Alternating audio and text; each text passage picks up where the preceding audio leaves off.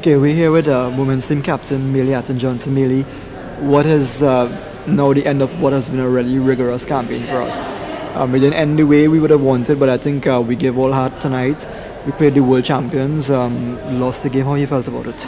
Well, you know, it's never easy playing the number one team in the world. Um, but I think I'm, I'm really proud of the girls. You know, we went out there and gave it our all. Um, uh, we gave up some soft ones, as well as the referees give away about two offside goals as well. But um, you know, the US is the number one team in the world for a reason. You know, their players eat, sleep, and dream football, whilst most of our players have to look for eight to four job and then train. You know, and it's difficult, and we have half of our team in, in college as well. So you know, we, we we have a long way to to actually um, compete at this level on a consistent basis. You know, you could see glimmers of um, potential to, to, to play at this level. But, you know, preparation and, and resources is really needed for us to be consistent and compete at this level against the likes of the US and Canada. In the game itself, up until maybe the second, maybe the third goal, we were in it. Mm-hmm. Um, how did you guys feel out there? I mean, what was it like uh, playing against uh, a US team? When we played the friendly in December, it was a friendly, but this time playing against a US team that is competing for a place in the Olympics. What was that like, uh, matching up, trying to match up with them? Well, you know, I was in there for the game in, in December, but um, for us, you know, we went out there with full confidence. Um, we did well for 20 something minutes and um, give up a backdoor goal, which shouldn't have happened. Um, and then I think the, the, two goals after that, um, especially the second one, you know, it, was more of an offside goal. And then we allowed an easy one to to get through. So, you know what? Um, again, I'm really, really um, proud of my teammates because they definitely put everything.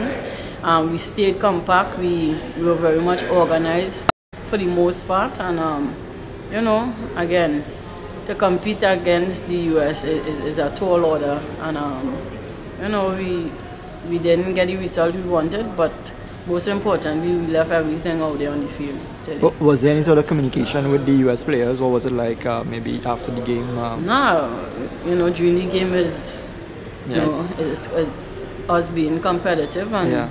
trying to be as physical as possible. Um, and then after the game, you know, you shake hands. But for the most part, during that game, we were trying to be as physical as we can be because we know how, how physical they are and how fast they are as well. So we're just trying to um, be competitive, competitive and and keep um, you know a good stance during the game. So. What would you like to see now in terms of the approach um, for the preparation of our, women's team? Mean, it's no secret that you know, there are some players on the team now uh, who are like in the twilight of their careers, and you see a 17-year-old making her debut for the US team tonight. And what would you like to see as one of the senior players now in terms of how we approach future, the, the selection of future teams? I mean, for us, um, most of us um, made the, the national team at age 15, 16, 17, you know, at a very young age. But you're not getting that at this present moment because of the poor system that's in place right now at primary school level as well as secondary school, you know, and most um, grassroots is important and I think that's where they need to invest the, the, um, the monies so that we can get a better primary school league and secondary school league where the girls can, you know, start at a younger age and, you know, gain that experience as well. So I think that's what's missing and um, but it's it's about someone believing in the women's program and, and putting everything behind it in order for us to compete against the best of them. What do you're saying there makes a lot of sense, but do you think that when you guys were the teenagers, the love and the desire you had for the game, that is missing um, to some extent in, in the program back home right now in terms of the, the amount of players coming through the ranks at that age? Um, without it, yeah, you, you can say so, but um, I think a lot of players, you know, see it as getting a, a, a scholarship to, to head out and, and create a, a, career after college because of the poor finances and, and resources that available to women's football. And I think a lot of them get very discouraged um, and, and decide, you know, they're going to be good enough to go to college, get a, a degree, and go have a career after that, and not really play football. And we, we've lost a lot of very good players because of it. They were very discouraged, and it had nothing in it for them, and they took the different route. And um, for some of us, the core of us, you know, we that football is our passion, you know, and you know it, it sometimes um, you know how to say it took over regardless of the difficulties that we face. Kept you all going. Right, the passion and the love that we had for the game, you know, kept us going and for some it's just not like that. You know, they take they use football as a vehicle to get a scholarship and create a career after they, they graduate. A lot of people will be interested to know what's next for Maylee. Um, we know you've, you, you, spoke the other day about you taking the referee course and you're getting involved in the administrative and coaching side. What, where do you see your future in the game?